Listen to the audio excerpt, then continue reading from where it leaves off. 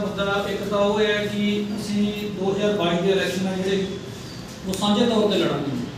ਜਿੰਨੀਆਂ ਵੀ ਹੋਰ ਜਥੇਬੰਦੀਆਂ ਜਾਂ ਆਰਗੇਨਾਈਜੇਸ਼ਨਾਂ ਉਹਨਾਂ ਨੂੰ ਵੀ ਇੱਕ ਜਗ੍ਹਾ ਲੈ ਕੇ ਆ ਰਹੇ ਆ, ਇਕੱਠੇ ਕਰਕੇ ਇੱਕ ਵੱਡੀ ਪ੍ਰੈਸ ਕਾਨਫਰੰਸ ਜਲਦੀ ਕਰਾਂਗੇ ਅਸੀਂ।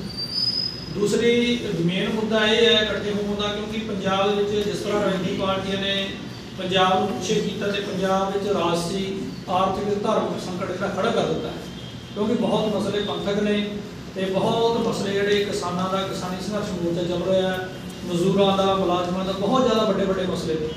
ਜਿਨ੍ਹਾਂ ਮਸਲਿਆਂ ਦਾ ਇੱਕੋ ਇੱਕ ਹੱਲ ਹੈ ਕਿ ਪੰਜਾਬ ਦੇ ਲੋਕ ਜੇ ਇਹਨਾਂ ਨੂੰ ਵੋਟ ਪਾ ਕੇ ਗੱਦੀ ਤੇ ਬਿਠਾ ਸਕਦੇ ਨੇ ਤੇ ਇਹਨਾਂ ਨੂੰ ਉਤਾਰ ਕੇ ਖੁਦ ਉਸ ਗੱਦੀ ਤੇ ਬੈਠਣ ਤਾਂ ਜੋ 117 ਪੜ੍ਹੇ ਲਿਖੇ ਨੌਜਵਾਨ ਜਿਹੜੇ ਉਹ ਪੰਜਾਬ ਦੀ ਅਗਵਾਈ ਕਰਨ ਤੇ ਪੰਜਾਬ ਨੂੰ ਵਧੀਆ ਸੁਰਜੀਤ ਕੀਤਾ ਜਾ ਸਕੇ ਤੇ ਵਿੱਚ ਪੰਜਾਬ ਦੇ ਆਰਥਿਕ ਮੁੱਦੇ ਨੇ, ਪੰਜਾਬ ਦੇ ਨੌਜਵਾਨਾਂ ਵਾਸਤੇ ਰੋਜ਼ਗਾਰ ਨਹੀਂ ਹੈ ਰੋਜ਼ਗਾਰ ਦੇ ਅਵਸਰ ਪੈਦਾ ਕੀਤੇ ਜਾਣ।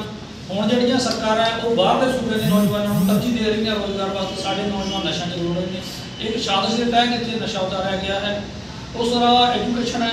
ਐਜੂਕੇਸ਼ਨ ਫ੍ਰੀ ਹੋਣੀ ਚਾਹੀਦੀ ਹੈ ਮੈਡੀਕਲ ਫ੍ਰੀ ਹੋਣਾ ਚਾਹੀਦਾ ਹੈ। ਜੇ ਸਾਡੀ ਪਾਰਟੀ ਸੱਤਾ ਤੇ ਹੈ, ਗਠਬੰਧਨ, ਤੇ ਅਸੀਂ ਇਹ ਦੋ ਚੀਜ਼ਾਂ ਜਿਹੜੀ ਪੀਐਚਡੀ ਤੱਕ ਦੀ ਐਜੂਕੇਸ਼ਨ ਬਿਲਕੁਲ ਫ੍ਰੀ ਹੋਏਗੀ। ਮੈਡੀਕਲ ਸਹੂਲਤਾਂ ਜਿਹੜੀਆਂ ਉਹ ਬਿਲਕੁਲ ਫ੍ਰੀ ਹੋਣਗੀਆਂ। ਜਿੱਥੇ ਜਿਹਦੇ ਲੋੜੀਂਦੇ ਟੈਸਟ ਨੇ, ਉਹ ਮੈਡੀਕਲ ਜਿਹੜੇ ਸਰਕਾਰੀ ਕਾਲਜ ਨੇ ਜਾਂ ਹਸਪੀਟਲ ਨੇ ਪਿੰਡਾਂ ਵਿੱਚ ਦੇ ਨਾਲ ਹੀ ਜੁਆਇੰਟ ਹੋਣੇ ਚਾਹੀਦੇ ਨੇ। ਠੀਕ ਹੈ ਜੀ? ਇਸੇ ਤਰ੍ਹਾਂ ਸ਼੍ਰੋਮਣੀ ਕਮੇਟੀ ਦੇ ਇਲੈਕਸ਼ਨ ਦਾ ਇਸ਼ੂ ਆ ਉਹਨੂੰ ਵੀ ਹੱਲ ਕਰਾਂਗੇ ਅਸੀਂ। ਤੇ ਪੰਜਾਬ ਦੇ ਜਿਹੜੇ ਫਾਰਮਰ ਦੇ ਇਸ਼ੂ ਹੈ ਕਿਸਾਨਾਂ ਦੇ, ਮਜ਼ਦੂਰਾਂ ਦੇ ਇਸ਼ੂ ਹੈ ਉਹ ਜਿਹੜੇ ਹੱਲ ਕਰਾਂਗੇ ਤਾਂ ਜੋ ਜਿਵੇਂ ਨਰਮਾ ਇਸ ਤਰ੍ਹਾਂ ਮਰ ਗਿਆ, ਮੁਆਵਜ਼ਾ ਦਿੱਤਾ ਨਹੀਂ ਸਰਕਾਰ ਨੇ ਅਨਾਉਂਸਮੈਂਟ ਕਰ ਦਿੱਤੀ, ਇਹਨਾਂ ਦੇ ਫਿਕਸ ਰੇਟ ਤੇ ਫਿਕਸ ਮੁਆਵਜ਼ੇ ਹੋਣੇ ਚਾਹੀਦੇ ਨੇ। ਪੰਜਾਬ ਦੇ ਕਿਸਾਨਾਂ ਦੀ ਜਿਹੜੀਆਂ ਫਸਲਾਂ ਦਾ ਪਰ ਏਕੜ ਦੇ ਹਿਸਾਬ ਨਾਲ ਉਹਨਾਂ ਦਾ ਜਿਹੜਾ ਬੀਮਾ ਹੋਣਾ ਚਾਹੀਦਾ ਤਾਂ ਜੋ 10-15 ਦਿਨ ਦੇ ਜਿਹੜੀ ਟਾਈਮ ਬੌਂਡ ਹੋਵੇ ਉਹਦਾ ਬੀਮਾ ਜਿਹੜਾ ਉਹਨਾਂ ਨੂੰ ਮਿਲ ਸਕੇ। ਇੱਕ ਤੁਸੀਂ ਗੱਲ ਕੀਤੀ ਹੈ ਜਿਹੜੀਆਂ ਫ੍ਰੀ ਜਿਹੜੀਆਂ ਚੀਜ਼ਾਂ ਦਿੱਤੀਆਂ ਜਾਣਗੀਆਂ ਪਰ ਜਿਹੜਾ ਜਰਨਲ ਵਰਗ ਆ ਅੱਜ ਸੋਸ਼ਲ ਮੀਡੀਆ ਤੇ ਪੂਰਾ ਹਾਹਾਕਾਰ ਮੱਚੀ ਹੋਈ ਹੈ ਕਿ ਬਾਕੀ ਅਦਰ ਪਾਰਟੀਆਂ ਨੂੰ ਦਿੱਤਾ ਜਾਂਦਾ ਜਰਨਲ ਨੂੰ ਨਹੀਂ ਦਿੱਤਾ ਕਿ ਜਰਨਲ ਨੇ ਵਿਰੋਧ ਕਰਨਾ ਸ਼ੁਰੂ ਕਰ ਦਿੱਤਾ। ਇਹਨਾਂ ਹਾਂ, ਲੋਕਾਂ ਨੇ ਫ੍ਰੀ ਦੀ ਜਿਹੜੀ ਇੱਕ ਲਾਲਚ ਦਿੱਤਾ ਕਿ ਫ੍ਰੀ ਦੇਵਾਂਗੇ। ਅਸੀਂ ਸਿਰਫ ਐਜੂਕੇਸ਼ਨ ਤੇ ਮੈਡੀਕਲ ਫ੍ਰੀ ਦਾ ਦੇ ਰਹੇ ਹਾਂ। ਉਹ ਵੀ ਇਸ ਲਈ ਕਿਉਂਕਿ ਪੰਜਾਬ ਦੇ ਲੋਕ ਹੈ ਜਿਹੜੇ ਟੈਕਸ ਪੇਡ ਕਰਦੇ ਨੇ ਉਹਨਾਂ ਦਾ ਹੱਕ ਨੇ ਬੁਨਿਆਦੀ ਹੱਕ ਨੇ ਕਿ ਮੈਡੀਕਲ ਸਹੂਲਤ ਕਿਉਂਕਿ ਜਿਹੜਾ ਗਰੀਬੀ ਰੇਖਾ ਤੋਂ ਥੱਲੇ ਹੈ ਅੱਜ ਉਹਨੇ ਸਟੰਟ ਪਵਾਉਣਾ ਹੈ ਜਾਂ ਕੋਈ ਪ੍ਰੋਬਲਮ ਆ ਗਈ ਉਹ ਪੀਜੀਆਈ ਜਾਂ ਕਿਤੇ ਵੱਡੇ ਹਸਪੀਟਲ ਇਲਾਜ ਨਹੀਂ ਕਰਵਾ ਗਰੀਬੀ ਸਕਦਾ ਰੇਖਾ ਦੇ ਵਿੱਚ ਜਰਨਲ ਵੀ ਆ ਜਾਂਦੇ ਆ ਕੋਈ ਜਰ- ਜਰਨਲ ਵੀ ਹੈਗੇ ਆ ਜਿਹੜਾ ਅੱਜ ਪਾਰਟੀਆਂ ਨੂੰ ਜਿੱਥੇ ਜਾਂਦੇ ਆ ਨੁਮਾਇੰਦੇ ਜਾਂਦੇ ਆ ਆਗੂ ਜਾਂਦੇ ਆ ਉੱਥੇ ਗੱਲ ਕੀਤੀ ਜਾਂਦੀ ਵੀ ਵੋਟਾਂ ਅਸੀਂ ਵੀ ਪਾਉਂਦੇ ਹਾਂ।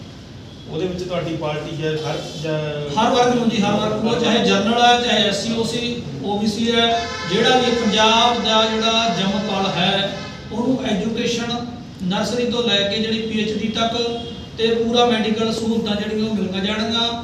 ਕੋਸ਼ਿਸ਼ ਕਰਾਂਗੇ ਜਿਹੜੇ ਬਿਲਡ ਫੋਰਸ ਸਾਡੀ ਉਹਨਾਂ ਨੂੰ ਵੀ ਫੌਜ ਦੀ ਤਾਰੇ ਤੇ ਅਸੀਂ ਸਹੂਲਤਾਂ ਦੇਵਾਂਗੇ ਪੰਜਾਬ ਵਿੱਚ। ਪੰਜਾਬ ਦੇ ਲੋਕਾਂ ਨੌਜਵਾਨਾਂ ਨੂੰ ਪ੍ਰਮੋਟ ਕਰਕੇ ਅਸੀਂ ਜਿਹੜੀ ਜੌਬਸ ਦੇ ਕਿੱਤਾ ਮੁਖੀ ਐਜੂਕੇਸ਼ਨ ਬਣਾਵਾਂਗੇ ਜਿਹਦੇ ਨਾਲ ਉਹਨਾਂ ਪੰਜਾਬ ਦੇ ਬੱਚਿਆਂ ਨੂੰ ਰੋਜ਼ਗਾਰ ਮਿਲ ਸਕੇ ਉਹ ਵਿਦੇਸ਼ਾਂ ਵੱਲ ਨਾ ਦੌੜਨ ਤੇ ਇੱਥੇ ਪੰਜਾਬ ਨੂੰ ਸੁਰਜੀਤ ਕਰ ਸਕਣ। ਕਿੰਨੀਆਂ ਸੀਟਾਂ ਤੇ ਦੋਨੇ ਪਾਰਟੀਆਂ ਦੀ ਕਿਸ ਤਰ੍ਹਾਂ ਅਸੀਂ 117 ਸੀਟਾਂ ਦੇ ਜਿਹੜੇ ਇਲੈਕਸ਼ਨ ਲੜਾਂਗੇ। ਤੇ 30 ਸੀਟਾਂ ਦੇ ਲਗਭਗ ਜਿਹੜਾ ਇਹਨਾਂ ਦਾ ਇੰਟਰਸਟ ਹੈਗਾ, ਉਹ ਅਸੀਂ ਬਹਿ ਕੇ ਜਿਹੜਾ ਫਾਈਨਲ ਹੋ ਜਾਏਗਾ।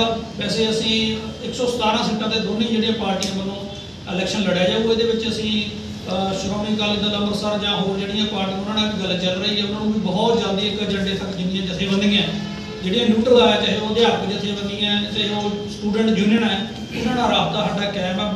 ਬੜੇ ਜਲਦੀ ਅਸੀਂ ਇੱਕ ਵੱਡੀ ਕਾਨਫਰੰਸ ਕਰਕੇ ਉਹਨਾਂ ਸਾਰਿਆਂ ਨੂੰ ਇੱਕ ਪਲੇਟਫਾਰਮ ਤੇ ਲਿਆ ਕੇ ਵਿਰੋਧੀ ਪਾਰਟੀਆਂ ਨੂੰ ਸ਼ਿਕਾਇਤ ਦਵਾਵਾਂਗੇ ਉਮੀਦਵਾਰ ਜਲਦੀ ਪ੍ਰਦਾਨ ਕਰ ਦਿਓ ਅਸੀਂ ਚਾਰ ਕੈਂਡੀਡੇਟ ਅਨਾਉਂਸ ਕਰ ਚੁੱਕੇ ਹਾਂ ਜੈ ਐਕਸ਼ਨ ਪਾਰਟੀ ਵੱਲੋਂ। ਦਿੜਵਾ ਹਲਕੇ ਤੋਂ ਸਾਡੇ ਵਿਚਕਾਰ ਬੈਠੇ ਨੇ ਭਾਈ ਅਮਨਦੀਪ ਸਿੰਘ ਸਿੱਧੂ ਤੇ ਪਾਇਲ ਹਲਕੇ ਤੋਂ ਰਾਜਦੀਪ ਕੌਰ ਮੈਡਮ ਹੈ ਤੇ ਜਲਾਲਾਬਾਦ ਸੀਟ ਅਸੀਂ ਅਨਾਉਂਸ ਕਰ ਚੁੱਕੇ ਹਾਂ। ਇਸ ਤਰ੍ਹਾਂ ਲੁਧਿਆਣਾ 'ਚ ਅਸੀਂ ਅਨਾਉਂਸ ਕਰ ਚੁੱਕੇ ਹਾਂ। ਕਾਫੀ ਸੀਟਾਂ ਜਿਹੜੀਆਂ ਹੁਣ ਅਗਲੀਆਂ ਸੀਟਾਂ ਆਉਣਗੀਆਂ, ਉਹ ਗਠਬੰਧਨ ਦੇ ਤਹਿਤ ਅਸੀਂ ਅਨਾਉਂਸ ਕਰਾਂਗੇ ਤੇ ਪੰਜਾਬ ਦੇ ਆਮ ਵਰਗ ਦੇ ਲੋਕਾਂ ਨੂੰ ਜਿਹੜੀਆਂ ਅਸੀਂ ਸੀਟਾਂ ਵੇਚਣੀਆਂ ਨਹੀਂ, ਅਸੀਂ ਜਿਹੜੇ ਡਿਜ਼ਰਵ ਕਰਦੇ ਪੰਜਾਬ ਦੇ ਨੌਜਵਾਨ ਕਿਉਂਕਿ ਜੇ ਵੋਟ ਦੇ ਕੇ ਬਣਾ ਸਕਦੇ ਆ ਜੇ ਕਿਸਾਨ ਮਜ਼ਦੂਰ ਮਿਹਨਤ ਕਰਕੇ ਇਹਨਾਂ ਨੂੰ ਬਿਠਾ ਸਕਦੇ ਨੇ ਤੇ ਉਹ ਖੁਦ ਵੀ ਲੜ ਸਕਦੇ ਨੇ ਇਸ ਜਗ੍ਹਾ ਤੇ ਆ ਸਕਦੇ ਨੇ। ਜਿਹੜੇ ਡਿਜ਼ਰਵ ਕਰਦੇ ਨੇ ਪੰਜਾਬ ਨੂੰ ਜਿਹੜੇ ਨੌਜਵਾਨ ਉਹਨਾਂ ਨੂੰ ਅਸੀਂ ਰਾਜਨੀਤੀ 'ਚ ਵੀ ਅੱਗੇ ਲੈ ਕੇ ਆਵਾਂਗੇ ਤਾਂ ਜੋ ਜਿਹੜੇ ਗੰਦਗੀ ਪਈ ਹੈ ਰਾਜਨੀਤੀ ਨੂੰ ਸਾਫ਼ ਕੀਤਾ ਜਾ ਸਕੇ। ਕੀ ਨਾਮ ਜੀ ਆਪਣਾ? ਗੁਰਦੀਪ ਸਿੰਘ ਖਾਲਸਾ ਜਨਰਲ ਸਕੱਤਰ ਪੰਜਾਬ। ਜੈ ਜਵਾਨ ਜੈ ਕਿਸਾਨ ਪਾਰਟੀ। ਹਾਂਜੀ। ਕਿਹੜੀ ਪਾਰਟੀ ਹੈ ਜੀ ਆਪਣਾ? ਕੀ ਨਾਮ? ਦਾਸ Darshan Singh Saran All India Trinamool Congress party Punjab ਤੋਂ ਵਾਈਸ ਪ੍ਰਧਾਨ ਔਰ ਅੱਜ ਸਰਦਾਰ ਗੁਰਦੀਪ ਸਿੰਘ ਜੀ ਖਾਲਸਾ, ਜੈ ਜਵਾਨ ਜੈ ਕਿਸਾਨ ਪਾਰਟੀ ਪੰਜਾਬ ਦੇ ਜਨਰਲ ਸਕੱਤਰ, ਉਹਨਾਂ ਦੇ ਨਾਲ ਰਾਮਗੜੀਆ ਸਾਹਿਬ, ਮੇਰੇ ਨਾਲ ਸੁਮੀ ਕੰਬੋਲੀਆ ਜਨਰਲ ਸਕੱਤਰ ਔਰ ਜਿੰਨੇ ਵੀ All India Trinamool Congress party ਦੇ ਅਹੁਦੇਦਾਰ, ਸਹਿਬਾਨ, ਜੈ ਜਵਾਨ ਜੈ ਕਿਸਾਨ ਪਾਰਟੀ ਦੇ ਅਹੁਦੇਦਾਰ, ਸਹਿਬਾਨ ਅੱਜ ਅਸੀਂ ਸਾਂਝੀ ਕਾਨਫਰੰਸ ਇੱਥੇ ਕਰ ਰਹੇ ਹਾਂ, ਜਿਹੜਾ ਅਸੀਂ ਦੋਨੇ ਪਾਰਟੀਆਂ ਮਿਲ ਕੇ ਪੰਜਾਬ ਦੇ 117 ਵਿਧਾਨ ਸਭਾ ਹਲਕੇ ਤੋਂ ਇਲੈਕਸ਼ਨ ਲੜਾਂਗੇ। ਔਰ ਵੀਰ ਜੀ ਨੇ ਦੱਸ ਹੀ ਦਿੱਤਾ ਕੁਝ ਸੀਟਾਂ ਇਹਨਾਂ ਨੇ ਐਲਾਨ ਕਰਤੀਆਂ, ਬਾਕੀ ਕੁਝ ਜਿਹੜੀਆਂ ਉਹ ਐਲਾਨ ਕਰਨੀਆਂ ਉਹ ਮਿਲ ਕੇ ਸਾਂਝੀਆਂ ਉਹ ਐਲਾਨ ਕਰਾਂਗੇ। ਔਰ ਜਿੱਥੋਂ ਤੱਕ ਸਾਡਾ ਸਵਾਲ ਹੈ, ਪੰਜਾਬ ਦੇ ਮਸਲਿਆਂ ਨੂੰ ਦੇਖਣਾ, ਪੰਜਾਬ ਦੇ ਵਿੱਚ ਮਸਲੇ ਬਹੁਤ ਹੈ। ਸਭ ਤੋਂ ਪਹਿਲਾਂ ਵੱਡਾ ਜਿਹੜਾ ਸ਼੍ਰੋਮਣੀ ਅਕਾਲੀ ਦਲ ਨੇ ਸ਼੍ਰੋਮਣੀ ਕਮੇਟੀ ਦੇ ਬਹੁਤ ਲੰਬੇ ਸਮੇਂ ਤੋਂ ਕਬਜ਼ਾ ਕਰਿਆ ਹੋਇਆ ਹੈ, ਆਪਣੀ ਪ੍ਰਾਈਵੇਟ ਪ੍ਰਾਪਰਟੀ ਬਣਾਈ ਹੋਈ ਹੈ। ਅਸੀਂ ਉਸ ਤੇ ਵੀ ਵਿਚਾਰ ਕਰ ਰਹੇ ਹਾਂ। ਪੰਥਕ ਜਥੇਬੰਦੀਆਂ ਨਾਲ ਮਿਲ ਕੇ ਅਸੀਂ ਉਸ ਤੋਂ ਵੀ ਇਹ ਅਕਾਲੀ ਦਲ ਦੇ ਬਾਦਲ ਦੇ ਕਬਜ਼ੇ ਤੋਂ ਛੁਡਾਉਣਾ ਹੈ। ਇਹ ਵੀ ਸਾਡਾ ਇੱਕ ਮੇਨ ਏਜੰਡਾ ਰਹੂਗਾ।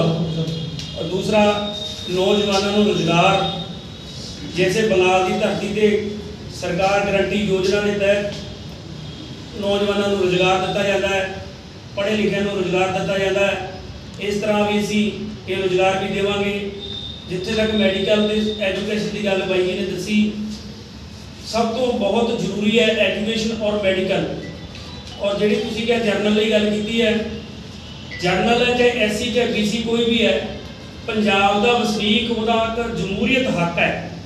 ਉਹਨੇ ਸਹੂਲਤਾਂ ਲੈਣਾ, ਉਹਨਾਂ ਨੂੰ ਮਿਲਣੀਆਂ ਚਾਹੀਦੀਆਂ, ਚਾਹੇ ਉਹ ਕਿਸੇ ਕੈਟਾਗਰੀ ਦੇ ਨਾਲ ਸੰਬੰਧ ਰੱਖਦਾ ਹੋਵੇ।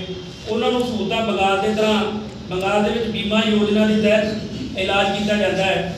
ਹਰ ਘਰ ਦਾ ਬੀਮਾ ਉਸ ਯੋਜਨਾ ਦੇ ਤਹਿਤ ਇਲਾਜ ਹੈ। ਇਸੇ ਤਰ੍ਹਾਂ ਪੰਜਾਬ ਦੇ ਵਿੱਚ ਵੀ ਸਰਕਾਰ ਬਣਦੇ, ਅਸੀਂ ਇਹ ਬੀਮਾ ਯੋਜਨਾ ਦੇ ਤਹਿਤ ਇਲਾਜ ਚਾਲੂ ਕਰਾਂਗੇ। ਔਰ ਇਹ ਜਿਹੜੀ ਐਜੂਕੇਸ਼ਨ ਹੈ, ਉਹ ਵੀ ਇਹ ਬਿਲਕੁਲ ਫ੍ਰੀ ਮਿਲੂਗੀ। ਔਰ ਦੂਸਰਾ ਰੋਜ਼ਗਾਰ ਆ ਜਿਹੜਾ, ਉਹ ਰੋਜ਼ਗਾਰ ਜਿਹੜੇ ਪੜ੍ਹੇ ਲਿਖੇ ਬੱਚੇ ਆ, ਉਹਨਾਂ ਨੂੰ ਰੋਜ਼ਗਾਰ ਮੁਹੱਈਆ ਗਵਰਨਮੈਂਟ ਕਰਾਉਗੇ ਆਪਣੀ ਗਰੰਟੀ ਦੇ ਔਰ ਜਿਹੜਾ ਕਿਸਾਨਾਂ ਦਾ ਰਹਿ ਗਿਆ, ਕਿਸਾਨਾਂ ਦੀ ਜਿਹੜੀ ਖੇਤੀਬਾੜੀ ਬੀਮਾ ਯੋਜਨਾ, ਬਹੁਤ ਸਾਲ ਹੋ ਗਏ ਸਾਨੂੰ ਸੁਣਦਿਆਂ ਨੂੰ, ਦੇਖਦਿਆਂ ਨੂੰ, ਅਸੀਂ ਕਿਸਾਨੀ ਨਾਲ ਸੰਬੰਧ ਰੱਖਦੇ ਹਾਂ। ਮੈਨੂੰ ਨਹੀਂ, ਮੈਂ ਤਾਂ ਆਪਣੀ ਨਿਗਾਹ 'ਚ ਨਹੀਂ ਦੇਖਿਆ ਕਿਸਾਨੀ ਬੀਮਾ ਯੋਜਨਾ ਕਹਿੰਦੇ ਆ ਵੀ ਬੀਮਾ ਯੋਜਨਾ ਲਾਗੂ ਕਰਾਂਗੇ, ਪਰ ਸਰਕਾਰ ਨੇ ਅੱਜ ਤੱਕ ਇਹ ਬੀਮਾ ਯੋਜਨਾ ਲਾਗੂ ਨਹੀਂ ਕੀਤਾ। ਜੇ ਲਾਗੂ ਕਰਦੀ ਹੈ 15 ਦਿਨ ਦੇ ਅੰਦਰ ਬੀਮਾ ਯੋਜਨਾ ਜ਼ਿਮੀਦਾਰ ਨੂੰ ਮਿਲਣੀ ਚਾਹੀਦੀ ਹੈ ਤਾਂ ਕਿ ਕਿਸਾਨ ਦੀ ਫਸਲ ਬਰਬਾਦ ਹੋ ਜੇ। ਉਹ ਕਿਸਾਨ ਸਰਕਾਰ ਦੇ ਉੱਤੇ ਦਾਰਮਦਾਰ ਨਾ ਹੋਵੇ, ਬੀਮਾ ਯੋਜਨਾ ਦੇ ਮੁਤਾਬਕ ਉਹਨੂੰ ਉਹਦਾ ਮੁਆਵਜ਼ਾ ਮਿਲਣਾ ਚਾਹੀਦਾ ਹੈ ਔਰ ਜਲਦੀ ਤੋਂ ਜਲਦੀ ਇਹ ਅਸੀਂ ਸਰਕਾਰ ਬਣਾਵਾਂਗੇ ਔਰ ਇਹ ਬੀਮਾ ਯੋਜਨਾ ਜਿਹੜੀ ਇਹ ਕਿਸਾਨਾਂ ਦੀ ਲਾਗੂ ਕਰਾਂਗੇ, ਜੋ ਬੰਗਾਲ ਦੇ ਵਿੱਚ ਲਾਗੂ ਹੈ, ਕਿਉਂਕਿ ਉੱਥੇ ਮੱਛੀ ਦਾ ਜ਼ਿਆਦਾ ਕਾਰੋਬਾਰ ਹੈ, ਬਰਸਾਤਾਂ ਜ਼ਿਆਦਾ ਹੁੰਦੀਆਂ ਨਹੀਂ ਤਾਂ ਉੱਥੇ ਇਸ ਤਰ੍ਹਾਂ ਦਾ ਮੱਛੀਆਂ ਖਤਮ ਹੀ ਹੋ ਜਾਣ। ਲੋਕਾਂ ਦਾ ਕਿਸਾਨ ਖਤਮ ਹੋ ਜੇ ਔਰ ਪੰਜਾਬ ਗਵਰਨਮੈਂਟ ਇਹ ਬੀਮਾ ਯੋਜਨਾ ਲਾਗੂ ਨਹੀਂ ਕਰ ਰਹੀ ਔਰ ਅਸੀਂ ਇਹ ਮੰਗ ਵੀ ਕਰਦੇ ਹਾਂ ਕਿ ਇਹ ਬੀਮਾ ਯੋਜਨਾ ਇਹ ਤਹਿਤ ਮੁਤਾਬਕ ਇਹ ਕਿਸਾਨਾਂ ਨੂੰ ਮੁਆਵਜ਼ਾ ਮਿਲਣਾ ਚਾਹੀਦਾ ਦੂਜਾ, ਤ੍ਰਿਪੁਰਾ ਦੇ ਵਿੱਚ ਭਾਰਤੀ ਜਨਤਾ ਪਾਰਟੀ ਆਰਐਸਐਸ ਦੇ ਗੁੰਡੇ ਘੱਟ ਗਿਣਤੀਆਂ ਤੇ ਜ਼ੁਲਮ ਕਰ ਰਹੇ ਹੈ, ਮਸਜਿਦਾਂ ਸਾੜ ਰਹੇ ਹੈ, ਘੱਟ ਗਿਣਤੀਆਂ ਤੇ ਬਹੁਤ ਵੱਡਾ ਜ਼ੁਲਮ ਉਹਨਾਂ ਨੇ ਢਾਹਿਆ ਔਰ ਬਹੁਤ ਸ਼ਰਮ ਦੀ ਗੱਲ ਹੈ ਕਿ ਜੈ ਸ਼੍ਰੀ ਰਾਮ ਦੇ ਨਾਰੇ ਤ੍ਰਿਪੁਰਾ ਦੀ ਪੁਲਿਸ ਲਾ ਰਹੀ ਹੈ। ਇਦੋਂ ਮੰਦਭਾਗੀ ਤੇ ਸ਼ਰਮਨਾਕ ਘਟਨਾ ਸਾਡੇ ਦੇਸ਼ ਲਈ ਕੋਈ ਹੋਰ ਨਹੀਂ ਹੋ ਸਕਦੀ। ਔਰ ਮੈਂ ਸਰਕਾਰ ਨੂੰ, ਭਾਜਪਾ ਨੂੰ, ਅਮਿਤ ਸ਼ਾਹ ਨੂੰ, ਗ੍ਰਹਿ ਮੰਤਰੀ ਨੂੰ ਬੇਨਤੀ ਕਰਦਾ ਹੈ ਵੀ ਆਪਣੇ ਗੁੰਡਿਆਂ ਨੂੰ ਨੱਥ ਪਾਓ। ਨਹੀਂ ਤਾਂ ਤੁਹਾਨੂੰ ਪੰਜਾਬ ਦੇ ਲੋਕ, ਹਿੰਦੁਸਤਾਨ ਦੇ ਲੋਕ ਤੁਹਾਨੂੰ ਬਖਸ਼ਣਗੇ ਨਹੀਂ, ਤੁਹਾਨੂੰ ਬਾਹਰ ਨਹੀਂ ਨਿਕਲਣ ਦੇਣਗੇ। ਔਰ ਜਿਹੜਾ ਗੋਆ ਦੇ ਵਿੱਚ ਹੁਣ ਕਿਸਾਨਾਂ, ਮੱਛੀ ਪਾਲਕ ਜਿਹੜੇ ਲੋਕ ਹੈ ਉਹਨਾਂ ਦੇ ਉੱਤੇ ਬਹੁਤ ਅਤਿਆਚਾਰ ਢਾ ਰਹੇ ਹੈ ਔਰ ਮਛਵਾੜਿਆਂ ਦੇ ਉੱਤੇ ਬਹੁਤ ਵੱਡਾ ਅਤਿਆਚਾਰ ਹੋ ਰਿਹਾ ਗੋਆ ਦੇ ਵਿੱਚ ਔਰ ਸਰਕਾਰ ਤੋਂ ਅਸੀਂ ਭਾਜਪਾ ਤੋਂ ਇਹ ਮੰਗ ਕਰਦੇ ਹਾਂ ਕਿ ਇਹ ਗੱਲਾਂ ਠੀਕ ਨਹੀਂ ਹੈ। ਤੁਸੀਂ ਹਰੇਕ ਸਟੇਟ ਦੇ ਕਿਸਾਨ ਨਾਲ, ਹਰੇਕ ਲੋਕਾਂ ਦੇ ਨਾਲ, ਹਰੇਕ ਜਮਹੂਰੀਅਤ ਦੇ ਲੋਕਾਂ ਨਾਲ ਤੁਸੀਂ ਪੰਗਾ ਲੈ ਰਹੇ ਹੋ। ਇਹ ਤੁਹਾਡੇ ਲਈ ਬਹੁਤ ਖਤਰਨਾਕ ਹੋਊਗਾ। ਸਾਡੀ ਇਹ ਬੇਨਤੀ ਹੈ ਔਰ ਸਰਕਾਰ ਤੋਂ ਮੰਗ ਕਰਦੇ ਹਾਂ ਕਿ ਇਸ ਤੇ ਤੁਰੰਤ ਨੱਥ ਪਾਈ ਜਾਵੇ ਔਰ ਇਹਦੀ ਟੀਐਮਸੀ ਪਾਰਟੀ, ਜੈ ਜੈ ਕਿਸਾਨ ਪਾਰਟੀ, ਇਹਦੀ ਸਖਤ ਨਿੰਦਾ ਚ ਸ਼ਬਦਾਂ ਚ ਨਿਖੇਧੀ ਕਰਦੀ